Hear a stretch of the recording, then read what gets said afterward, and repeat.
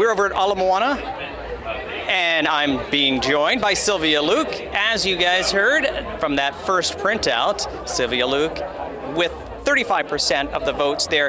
A big cheer here from all the supporters, uh, smiles around, and you came in, started hugging all of your supporters, wanted to thank them.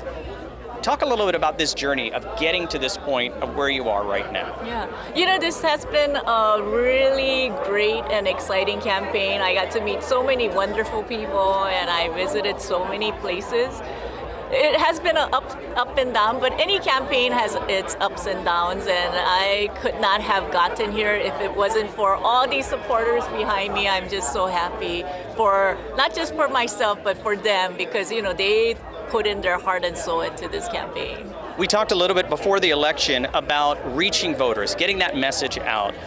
The message that you, what do you think resonated with the voters? What message was it that that reached them? So you know, it's at a point where voters want real, real change and real results. And because of my experience in the legislature, I think they really believe that I'm the best candidate for the state. Uh, you know, who will bring affordable housing and bring preschool access and broadband. And I think this race really showed that hey, you know, they're looking for results, and they believe that I am the one.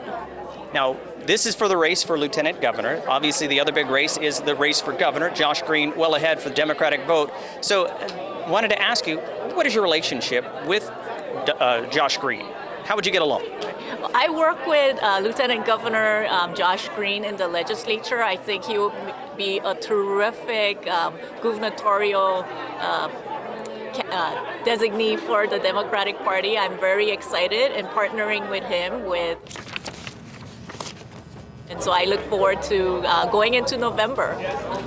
That's gonna, my next question, because a lot of work's already been done just to get to this point, but there's still some more work left to go. So what is next for you and for your campaign? So for the next several weeks, I will be going back to all the islands to thank everyone and continuing our discussion about what type of changes and what type of results they want the state to make. And I look forward to meeting with so many people around the state. You talked about meeting with people. There's still a lot of people that want to meet you. I mean, say hi to you, give you leis, and thank you, congratulate you on your evening tonight. So we'll let you get back to all of your supporters here. But thank you very much for talking no, with us, and you, good you. luck in the next election as well. You. Thank you.